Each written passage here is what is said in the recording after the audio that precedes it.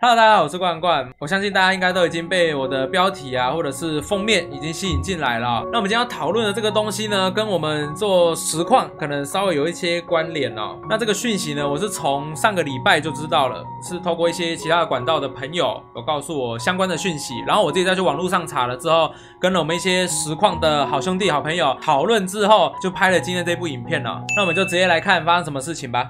像我们自由财经这一篇呢，它里面就写到涉非法收集儿童数据，YouTube 五十三亿天价和解。那向他们提出一点七亿的罚款的人呢，是联邦贸易委员会，我们这边简称 FTC。他们指控说，，Google 因为他们有涉嫌收集十三岁以下的儿童资料，然后推动它的广告业务，而违反了儿童线上隐私保护法。所以在九月四号的时候，Google 就同意支付一点七亿美元和解。首先，我先跟你们解释一下这一段是什么意思啊？那首先，我先搜寻了一下我们之前想买的雪怪麦克风架。那你看这边已经有我有点过的记录了嘛？然后我现在登录我的 FB 哦，这里面就会出现我刚刚点过类似的相关的浏览。这种广告我们会把它称作针对性广告，根据每一个用户他们平常所浏览的一些产品，然后来向他们播放他们可能有兴趣的广告内容。那 YouTube 呢，就是因为涉嫌呢去查询儿童的浏览记录啊，然后向他们推送他们喜欢看可能会喜欢的广告，就是因为这个举动才认为违反了儿童线上隐私保护法，所以他们才被判罚了一点七亿美元哦。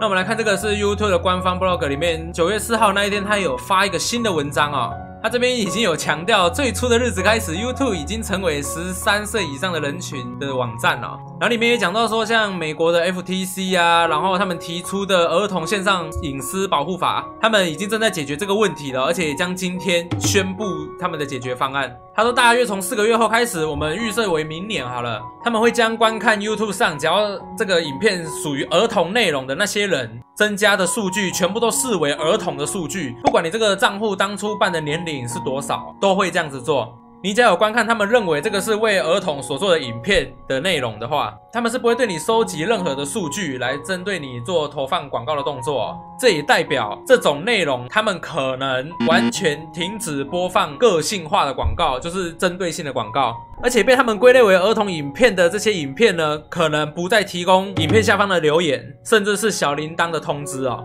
而且还为了识别儿童制作的内容，创作者还必须要告诉他们说：“哎，你们做的这个影片是不是儿童在观看的影片？”但即使是这样子，他们还是会使用机器来学习，应该是 AI 吧，来找出他们认为这个就是儿童影片的影片啊。不管是人物主题、玩具，或者是游戏类，都一定会有这个部分存在。那如果你们看到这个影片，你们想说，哎呀，那十三岁以下儿童那就不能看 YouTube 吗？没有，他们有一个 YouTube Kids 嘛，专门为小朋友提供影片服务的地方。那这个文章呢，我会把它放在我的影片下方的资讯栏，有兴趣的人呢，可以自己去点来看哦。那以上就是这个事件的相关内容哦。那接下来我有一些我个人的想法。那我个人认为呢，会在使用 YouTube 这个平台，十三岁以下的观众呢，比例一定是不低的。毕竟现在网络的使用率一直在年轻化，这种感觉很恐怖哎，有点像是儿童族群。如果他们喜欢收看在 YouTube 平台上面的哪一些视频的话，那些视频就有机会成为他们口中所说的专门为儿童制作的影片。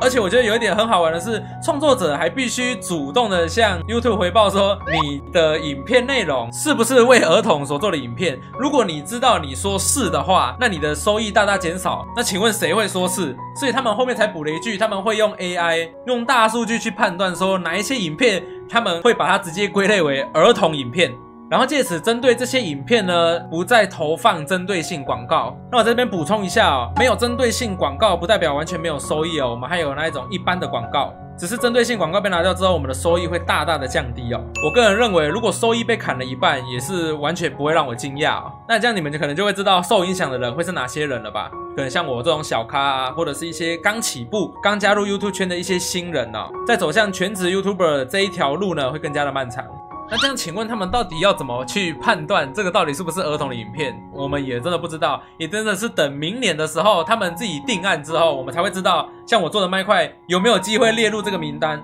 或者是某些手机游戏，还是什么现在很火红的游戏，如果有很多他们所谓的儿童族群都跑去观看，并且游玩，然后再关注这一个圈子的话，那那个圈子是不是就更有机会变成他们所说的儿童类别呢？我觉得这个很值得大家去思考一下。那既然他们有大约说可能是在明年的时候会做调整，那从现在到明年起之间还有三四个月的时间，我相信如果你有在做 YouTube 影片，不论你是不是做实况，如果你的客群有很大一部分是含到十三岁以下的客群的话，可能稍微都要关注一下这一次的事件哦。毕竟他这次冲着某些儿童可能会专程跑到 YouTube 这边来看的游戏，或者是一些玩具啊，一些儿童可能会有兴趣的内容而来的。那毕竟我做游戏类影片呢，也只有大约一两年的时间呢。我相信前面还有更多的前辈看到这些问题的话，他们影响一定会比我们更重大。那我也希望借我这支影片呢，可以让更多人来讨论这件事情，甚至让更多更专业的人呢，来对这一次的事件做出更专业的讨论。那我们今天影片差不多到这边结束哦。那下方的留言区呢，我希望采取一个开放式的讨论哦。大家有什么想法，我觉得都可以在下面大家一起来做讨论。如果你觉得这支影片跟你没有关系，那也无妨。但是如果你觉得可能会影响到某一些你喜欢的创作者，甚至是为了创作这条路正在力争上游的人，这一次的事件如果会影响到他们的话，我也希望大家多多分享出去，让他们知道明年可能会有这个状况。那我也祝有看到这个影片的创作者呢，可以平安度过这一次的事件，希望影响不要到太严重哦。那我是关关，大家拜拜。